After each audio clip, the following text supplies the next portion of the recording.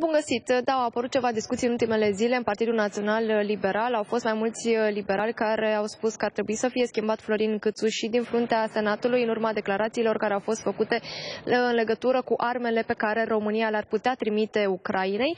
Însă nu sunt discuții oficiale, sunt doar potrivit surselor mai mulți senatori ai Partidului Național Liberal care și-ar dori ca Florin Câțu să plece din fruntea Senatului și chiar și-ar dori să îi ia locul.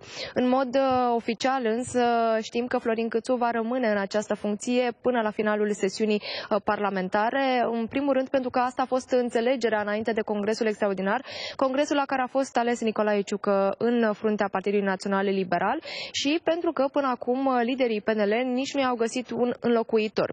Iată, sunt uh, motive pentru care Florin Câțu rămâne în această funcție. În același timp, președintele Senatului a declarat astăzi că nu există motive să fie înlocuit din fruntea Senatului. A menționat că nu a precizat că România va trimite arme Ucrainei, ci că urmează să se analizeze legislația în acest sens și spunea că uh, nu i s-au adus reproșuri, reproșuri în partid legate de această declarație, dar că într-adevăr este o funcție politică și întotdeauna va exista o competiție pentru această funcție. Dar în același timp Florin Câțu iar aduce critici acestei coaliții formate din PNL, PSD și UDMR susține că este o coaliție de compromis și că se adoptă în guvern mai mult măsurile Partidului Social Democrat, iar în acest context PSD ar trebui să își asume și rezultatele uh, negative.